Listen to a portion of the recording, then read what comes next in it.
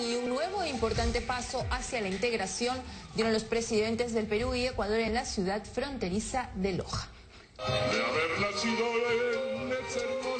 Nuevamente demostró sus dotes de cantante. Esta vez fue en el Parque Central de Loja, en Ecuador, donde el presidente Alan García no dudó en interpretar el vals Mi Perú. El mandatario peruano llegó al país del norte para reunirse con su homólogo Rafael Correa y participar en la cuarta reunión del gabinete ministerial binacional. Correa no se quedó atrás, lo hizo acompañado de sus autoridades y en medio de innumerables muestras de simpatía de los pobladores. El mandatario peruano recibió un ramo de flores de una niña ecuatoriana y como símbolo de la paz, ambos jefes de Estado soltaron dos palomas blancas. El presidente Alan García aseguró que ambos países han iniciado un camino de unidad indestructible, respaldó la democracia y el Estado de Derecho en Ecuador.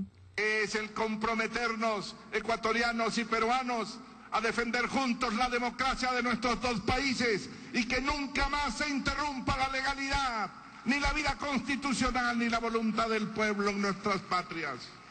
Sostuvo que Perú y Ecuador han impulsado diversos ejes viales, construido puentes y hospitales. Mencionó que la gran noticia es el impulso del proyecto de irrigación Puyango-Tumbes.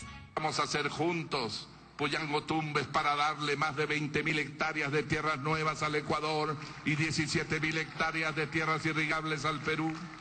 Correa se sumó al pedido del gobierno peruano y suscribió una declaración exigiendo a la Universidad de Yale la devolución de piezas arqueológicas de Machu Picchu. El presidente Alan García se pronunció también sobre el virtual triunfo de Susana Villarán. Pero tenemos un buen resultado y como Shakespeare había dicho, all is well when ends well. Todo está bien cuando acaba bien.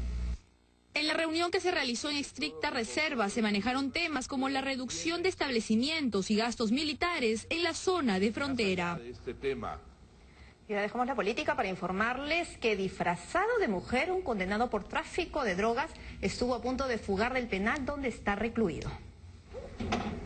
Intentó burlar a los guardias usando una peluca, una falda larga floreada y maquillaje.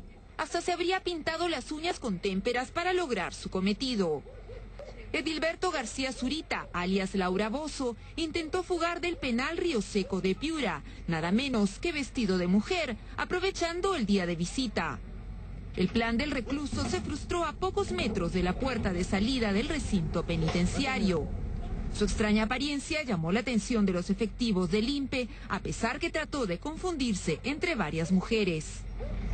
Se cree que un familiar del recluso le proporcionó la indumentaria especial que utilizó en su intento de fuga.